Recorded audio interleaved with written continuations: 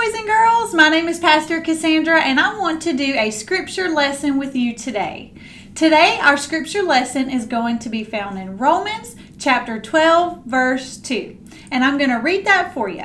It says, Do not conform to the pattern of this world, but be transformed by the renewing of your mind. Then you will be able to test and approve what God's will is His good, pleasing, and perfect will. Today, boys and girls, I want you to look at what I have here. And this jar, this vase, is going to represent our minds. And this chocolate milk right here is going to represent the bad things that we can think, the things of this world that we think. So, those things could be cheating on a test, lying to our parents, if we're mad at a friend and we think of a bad name to call them, those are those thoughts right there. And sometimes they get in our head. They do. But by um, looking at our scripture lesson today, we can tell that God wants us to be, our minds to be renewed. He doesn't want us to stay stuck and have these negative thoughts in our head. And negative thoughts are thoughts that are displeasing to God.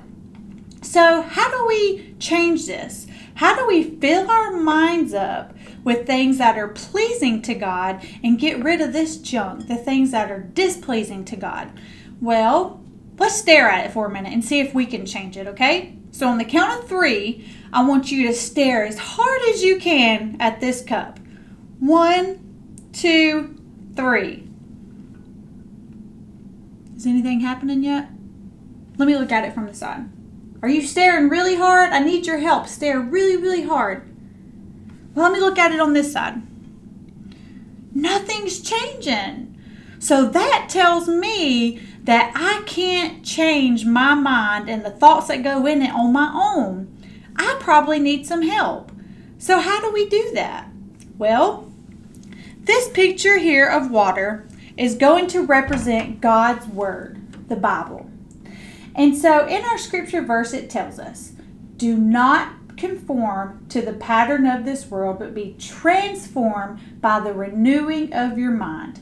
Well, Pastor Cassandra, how do we renew our mind? Well, I'm glad you asked because I'm going to tell you.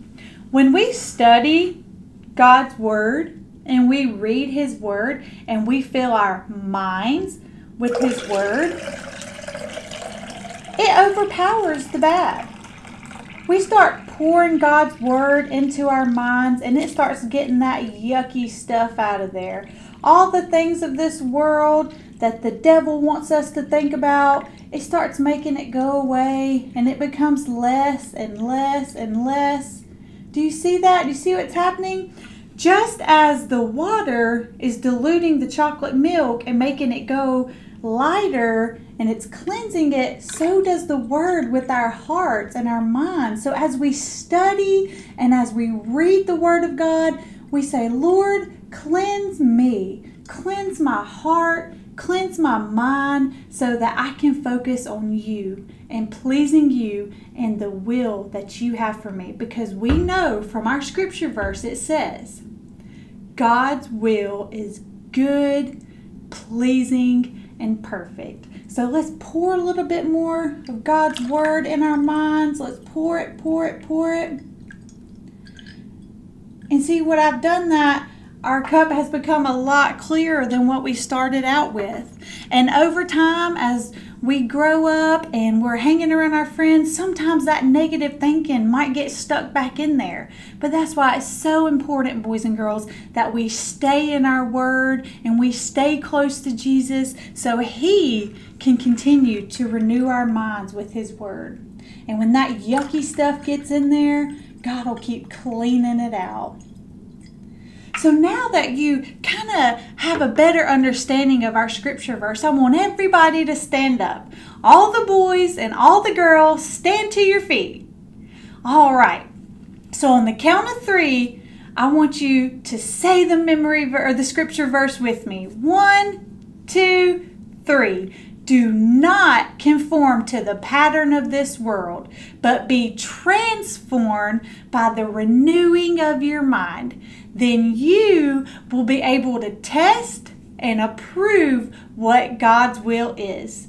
God's will is pleasing, good, perfect will.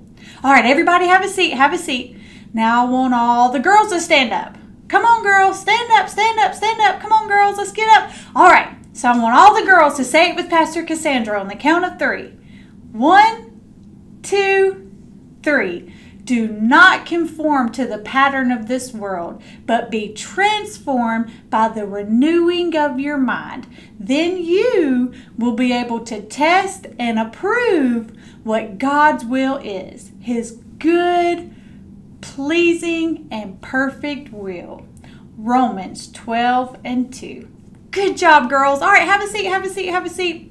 I need all my boys to stand up. That's right, it's the boys' turn. Stand up, stand up, stand up. Get on your feet, get on your feet. All right, boys, on the count of three, you're going to say the scripture verse with Pastor Cassandra.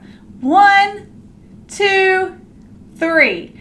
Do not conform to the pattern of this world, but be transformed by the renewing of your mind. Then you will be able to test and approve what God's will is His good, pleasing, and perfect will. Romans 12 and 2. Good job, boys and girls. I'm so glad I could spend just a minute with you and talking about renewing our minds. And let's remember, when our mind gets filled up with all that junk that's displeasing to God, we can always pour God's Word into our minds and into our life, and He will cleanse our hearts and He will cleanse our minds.